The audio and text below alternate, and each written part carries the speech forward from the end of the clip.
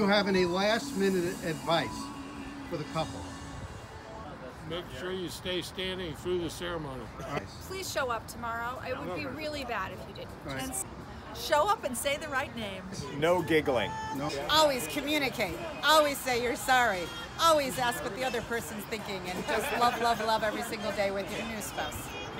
Forgiveness. Rick, do you have any last minute advice for the couple? Yes, I told Kevin that at the wedding something will go wrong. Okay. Count on it. A year later, he won't remember what it was. Uh, the next few years would not be a good time to give up drinking. In 11 years, if there's still things to hide, you should probably say them tonight before the wedding. Don't fall into any routines. And you? Marriage is hard. Don't screw it up. Don't try doing any travel or commuting on days when the Cubs are playing. Um, probably don't order Panera on your last day of freedom. That's run. Whatever she says goes. If you guys can still enjoy each other's company after Kevin's farts, you're good to go. Never go to bed angry. Go to Australia for your honeymoon. Don't draft a QB in the first round. say the right name.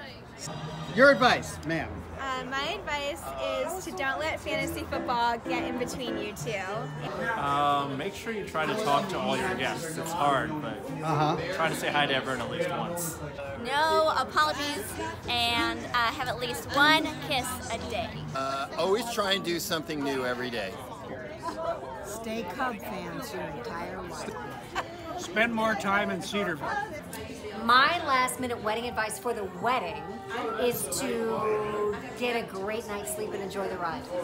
I'd say communication is key. Uh huh. Always talk, don't keep your feelings to yourself, and assume the other person knows what you're thinking. That's good advice. All right, Ellen, remember that he's now goofy husband and he has the watch to prove it. Uh-huh. I say, I say happy wife, happy wife, happy life. Happy wife, happy life. Just All right. Kevin, man. Eat well. Make sure, make Enjoy sure the she's happy. dessert. Don't forget the dessert. So my advice is to always try to go, never to go to bed angry, to try to make up as much as you can, and that Ellen's always right. So listen to her and love each other. Never go to bed angry. Keep doing what you've been doing. Last minute wedding advice? Okay, I would say smile at the empty ice tray. That is my advice. Because there will be something that happens that your significant other does that you think is really annoying and dumb, like doesn't fill the ice tray.